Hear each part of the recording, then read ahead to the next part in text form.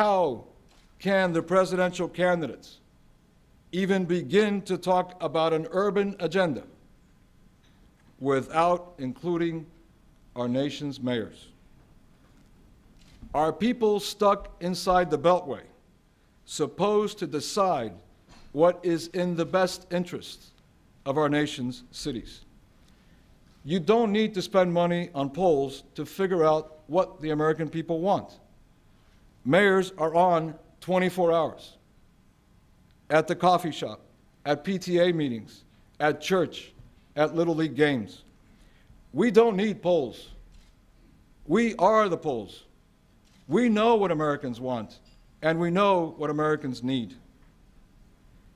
We will present to the next president the urban agenda for the first 100 days. The next president must understand that an investment in America's cities is an investment in America's people, and it is an investment in America's future. That our next president should be the mayor of the United States. The stakes could not be higher. The status quo has clearly not worked. We need a clean and historic break with the past. While the 20th century saw the end of European political and economic dominance, will the 21st century see the end of American dominance? World powers today compete for economic strength. The weapons are not nuclear or missiles. The weapons are information and currency. China, Russia, India, Brazil, and many others are gaining on us by investing in their people, investing in their cities, and investing in their nation. They're also buying us out. In 10 years, our foreign held debt has doubled, and half of our debt is now foreign owned.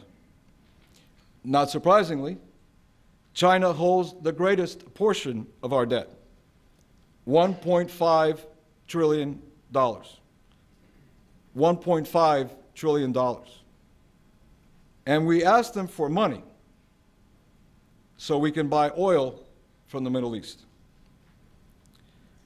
Other countries have figured out that it is easier to buy us than to bomb us.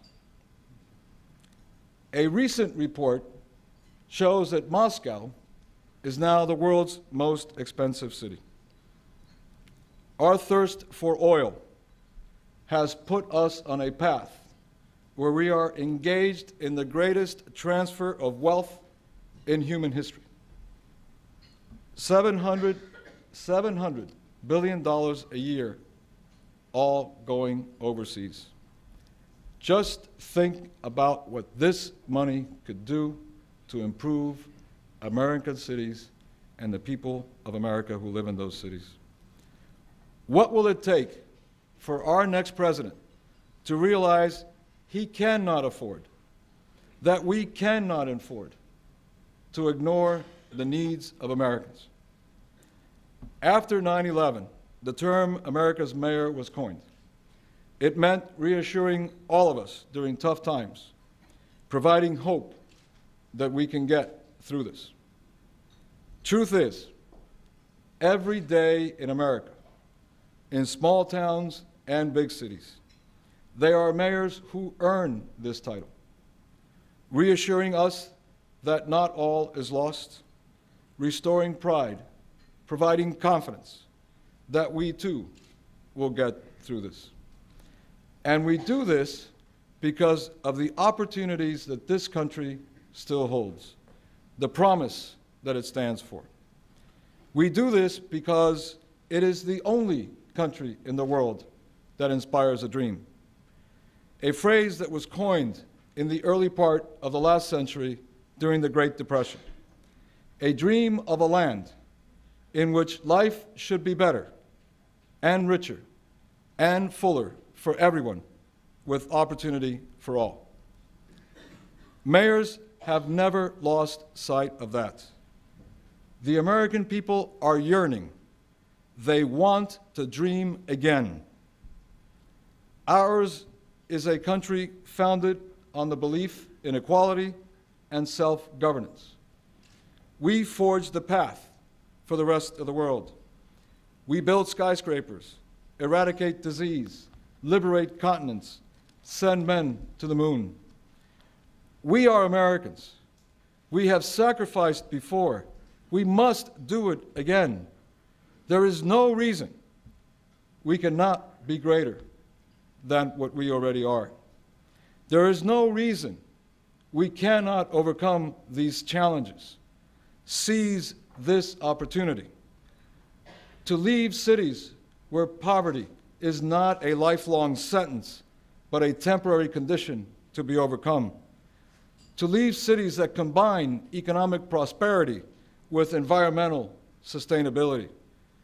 To leave cities where our children can receive the best education, afford a home, hold a good paying job, have access to the arts, and live in clean and safe neighborhoods. To leave cities where everyone has access to the promises of the dream. This is what mayors do, and this is what the next President of the United States must do, so that our children and their children may inherit cities, may inherit a country better than was left to us. Thank you.